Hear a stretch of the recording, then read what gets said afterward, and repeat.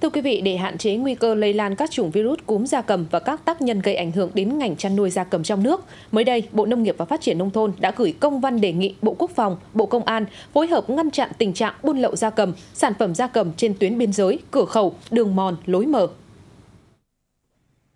Trước đó, Tại hội nghị đánh giá thực trạng và đề xuất giải pháp chăn nuôi gia cầm trong tình hình mới, theo đại diện Hiệp hội chăn nuôi gia cầm Việt Nam, đang có thông tin gà thải loại đi bộ từ Thái Lan qua Campuchia vào Việt Nam với giá rất rẻ. Để chấm dứt ngay tình trạng vận chuyển, buôn bán trái phép gia cầm, sản phẩm gia cầm qua biên giới, ngăn chặn các loại dịch bệnh truyền nhiễm nguy hiểm xâm nhiễm vào Việt Nam, bảo vệ ngành chăn nuôi trong nước, Bộ Nông nghiệp và Phát triển Nông thôn vừa có văn bản đề nghị Bộ Tư lệnh Bộ đội Biên phòng chỉ đạo các đồn biên phòng phối hợp chặt chẽ với các đơn vị chức năng của các bộ, ngành và chính quyền địa phương trong việc ngăn chặn nhập lậu gia cầm, sản phẩm gia cầm trên tuyến biên giới cửa khẩu đường mòn lối mở. Công văn của Bộ Nông nghiệp và Phát triển Nông thôn cũng đề nghị Bộ Công an chỉ đạo lực lượng công an phối hợp lực lượng chức năng của Bộ Công Thương, Bộ Tài chính, Bộ Nông nghiệp và Phát triển Nông thôn và chính quyền các địa phương trong việc ngăn chặn nhập lậu gia cầm, sản phẩm gia cầm trên tuyến biên giới cửa khẩu, đường mòn, lối mở và tuyến biển đồng thời chỉ đạo lực lượng công an lập chuyên án điều tra với các đối tượng vận chuyển, buôn bán gia cầm, sản phẩm gia cầm nhập lậu qua biên giới. Trước đó cũng liên quan tới nội dung này, tại cuộc họp giao ban Bộ Nông nghiệp và Phát triển Nông thôn, Bộ trưởng Lê Minh Hoan đã yêu cầu Cục Thú y làm rõ thông tin về việc có hay không hiện tượng thịt thải loại xuất hiện tại thị trường Việt Nam. Thông tin từ Tổng cục Hải quan, lũy kế 4 tháng đầu năm 2023, giá trị nhập khẩu của thịt phụ phẩm dạng thịt và phụ phẩm ăn được sau giết mổ của động vật nhập khẩu vào Việt Nam đạt 407 triệu đô la Mỹ, tăng 1% so với cùng kỳ năm 2022 trước nghi vấn có hay không hiện tượng thịt thải loại xuất hiện tại thị trường Việt Nam trải qua quy trình đàm phán tối thiểu 5 năm. Việt Nam hiện là thành viên của WTO, do đó mọi hoạt động liên quan đến xuất nhập khẩu, trong đó có các sản phẩm thịt và phụ phẩm đều tuân theo nguyên tắc thị trường.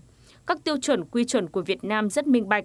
Hiện có 29 quốc gia và vùng lãnh thổ đã được cấp phép xuất khẩu thịt động vật sang Việt Nam. Tiếp theo chương trình là những thông tin cập nhật giá gia cầm ngày hôm nay mùng 5 tháng 5 tại các vùng. Giá sản xuất chuồng gà công nghiệp lông trắng giảm 1.000 đồng 1 kg. Giá gà lông trắng xuất khẩu chuồng tại các trại miền Bắc dao động trong khoảng từ 29.000 đến 29.500 đồng 1 kg. Theo các thương lái, giá gà lông trắng tại các tỉnh miền Bắc giảm nhẹ do nguồn cung tăng cục bộ tại một số nơi. Tuy nhiên, giá mặt hàng này có thể phục hồi tăng trở lại sau khi lứa gà hiện tại được xuất chuồng hết. Tại các tỉnh miền Nam, giá gà công nghiệp thấp hơn đáng kể so với miền Bắc, có nơi trên 24.000 đồng một kg. Giá gà lông màu tại các tỉnh thành phía Nam cũng đang ở mức thấp dưới 40.000 đồng một kg. Giá gà ta thả vườn tại hai tỉnh Bình Dương và Bình Phước đạt trên dưới 50.000 đồng một kg. Giá gà mía Sơn Tây bán tại khu vực Hà Nội, Bắc Giang cao nhất đạt trên 80.000 đồng một kg. Tình trạng các trại tiêu thụ khá chậm. Thưa quý vị, giá lợn hơi trên thị trường hôm nay tăng giảm trái chiều ở một số vùng miền, địa phương. Mức tăng giảm trong khoảng từ 1 đến 2.000 đồng một kg. Tại miền Bắc, Vĩnh Phúc và Hưng Yên hạ một giá lên 52 và 53.000 đồng một kg.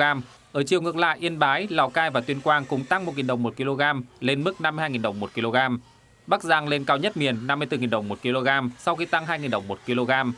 Khu vực miền Trung và Tây Nguyên giá biến động tương tự. Thanh Hóa, Đắk Lắk và Bình Thuận lên 53.000 đồng một kg sau khi tăng 1.000 đồng một kg. Ở chiều ngược lại, giá lợn hơi ở Bình Định giảm 2.000 đồng một kg xuống còn 52.000 đồng một kg. Thị trường lợn hơi phía Nam sau khi tăng nhẹ một giá, thành phố Hồ Chí Minh, Sóc Trăng và các địa phương trong tỉnh Đồng Nai đang thu mua trong khoảng 52 đến 54 000 đồng một kg. Long An sau khi tăng 2.000 đồng một kg lên 55.000 đồng một kg, cao nhất cả nước. Trong khi Trà Vinh hạ một giá xuống còn 52.000 đồng một kg. Giá trị xuất khẩu nông lâm thủy sản 4 tháng đầu năm đạt 15,66 tỷ đô la Mỹ, giảm 13,3% so với cùng kỳ năm 2022. Nguyên nhân là do lạm phát cao tại các thị trường nhập khẩu chính như Mỹ, châu Âu, Nhật Bản, Hàn Quốc khiến nhu cầu nhập khẩu giảm.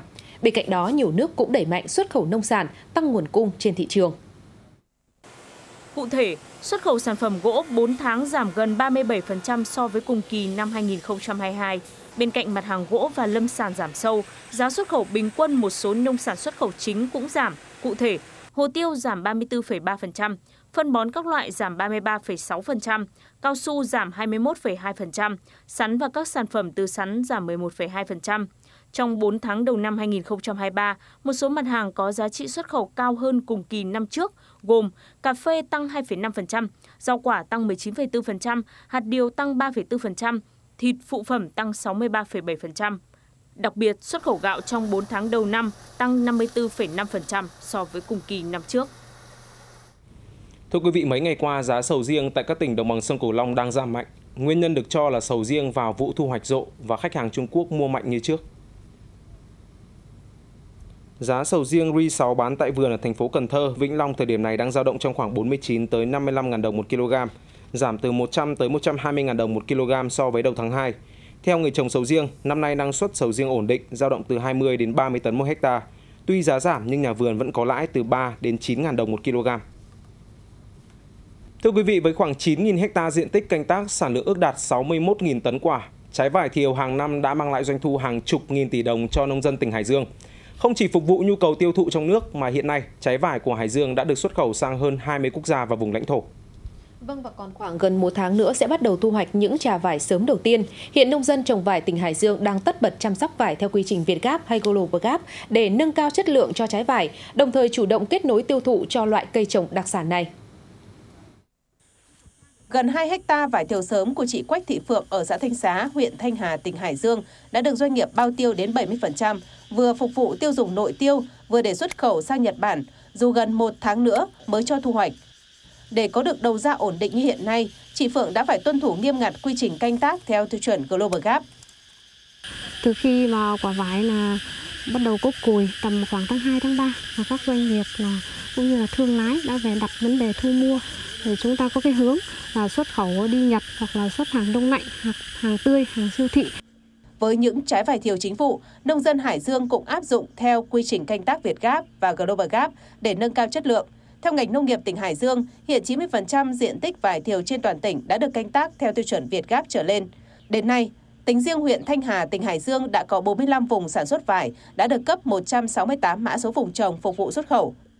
Năm nay chắc chắn một cái điều là là mẫu mã vải là một này, hai là chất lượng quả vải là hai này và cái đặc biệt là cái dư lượng thuốc bảo vệ thực vật ở trong quả quả vải thì năm nay là chắc chắn một điều này tuyệt đối an toàn. Người nông dân đã thực hiện nghiêm ngặt các quy trình À, sản xuất đảm bảo theo các tiêu chuẩn xuất khẩu và hiện nay thì ủy ban huyện cũng đã phân công chỉ đạo các cơ quan chuyên môn à, các địa phương à, hướng dẫn và giám sát các vùng trồng này để làm sao mà đáp ứng được cái đúng cái tiêu chuẩn của cái các thị trường nhập khẩu. Hiện những trà vải sớm đang trong giai đoạn làm cùi, lên đường, dự kiến đến cuối tháng 5, đầu tháng 6 năm 2023 sẽ cho thu hoạch. Để chủ động tiêu thụ, hiện các hợp tác xã, doanh nghiệp và chính quyền địa phương cũng đã lên các phương án kết nối thị trường cho trái vải thiều.